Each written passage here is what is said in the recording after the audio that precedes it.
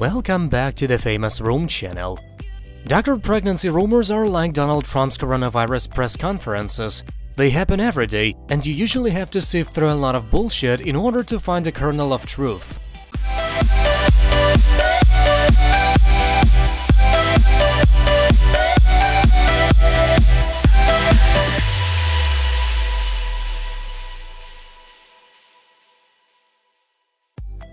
The latest to be accused of bomb smuggling is Jinger Duggar.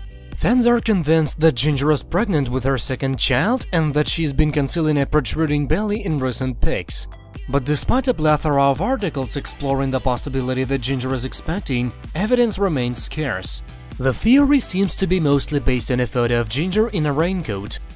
Fans are convinced she's donned a protective layer in order to hide her burgeoning bump, but it's worth noting that Jinger was in fact walking in the rain at that time, which means she could have been wearing the coat for the more obvious purpose of protecting herself from the rain.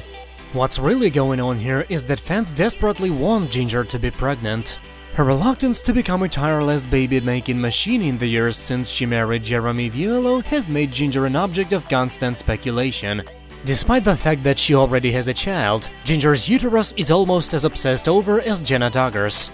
Jana, of course, has been confounding her fans and family with her refusal to get married and start cranking out little Duggars. Jinger did what she was supposed to do, married young, had a kid. But then she did something no one could have seen coming. She stopped. As you're probably aware, because we remind you this almost in every single video, Duggar women are taught from a young age that procreation is their primary reason for being. The family adheres to the teachings of the controversial Quiverful movement, the central tenet of which is that it's the duty of all Christian women to have as many children as possible in order to overwhelm the populations of all other faiths and bring about a new world order.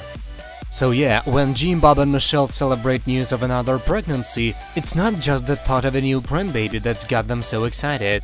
They genuinely believe their family is one step closer to fulfilling its divinely ordained quota. So the fact that Jinger seems to have no interest in breeding a baseball team is viewed as deeply problematic by both her family and the Duggar's evangelical fanbase.